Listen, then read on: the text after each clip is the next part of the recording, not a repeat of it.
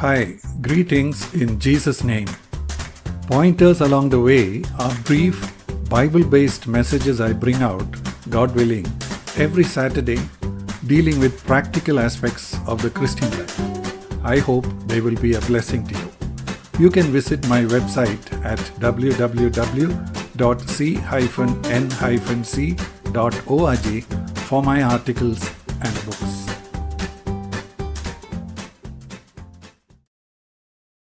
This is pointer number 991 and its title is Make Believe is Not Faith.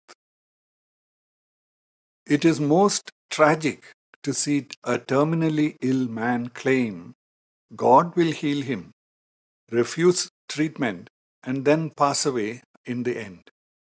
He may have sincerely believed what he said based on what he knows God to be capable of and what he has done for others.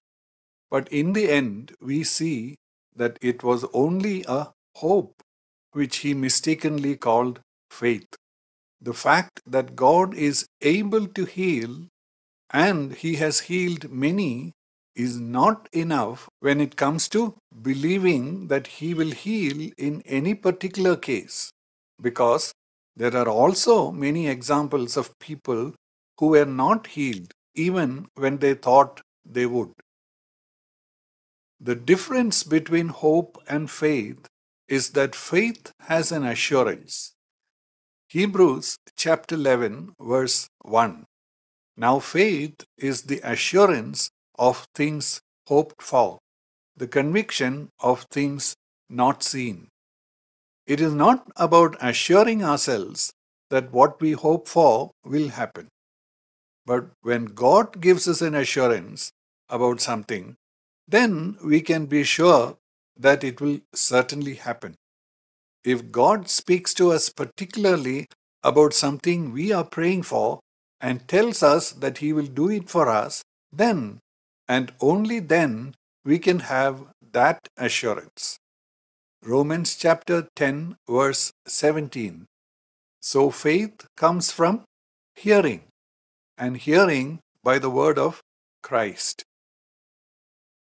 Of course, we are not thinking only about healing here, but anything that we hope God will do for us. Unfortunately, many preachers have given an impression that faith is something we have to produce in our mind which will then make or compel or force God to do what we want. There are those who think that just as we trigger natural processes by something we do, we activate our faith by the words we speak. And when we have produced faith, God cannot do anything but answer our prayer. Not at all. God is not a force or energy that follows natural laws, such as having to give what we want when we present faith to Him. He is a person who decides what he should do from case to case. For example, he allowed Herod to kill the apostle James while he sent an angel to deliver Peter. Faith has an assurance because it is based on truth and reality. One type of faith is in God as a person whom we trust in. Hebrews chapter 11, verse 6. And without faith it is impossible to please Him. For he who comes to God must believe that He is, and that He is a rewarder of those who seek Him. From that we are assured that He is true and real and that He will do what He has promised. But there are many things we pray for where we don't have a clear promise in God's Word specifically addressed to us. We still pray because we know God is our Father who loves us and He is able to do whatever He wants. But that is not enough to give us an assurance that He will do it for us. But then, God can speak personally to us in our situation, directly in our heart or with reference to something in the Bible. For example, when Lazarus was sick, Jesus told the disciples that he was not going to die. If we hear something like that from God, then we can have an assurance that God will do what He has told us.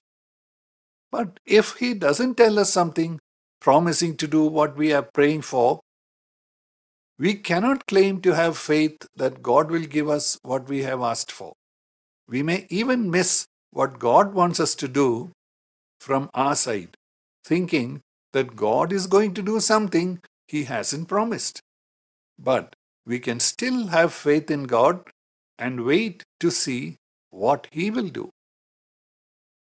May the Lord bless you in your life as you have listened to these words. Thank you.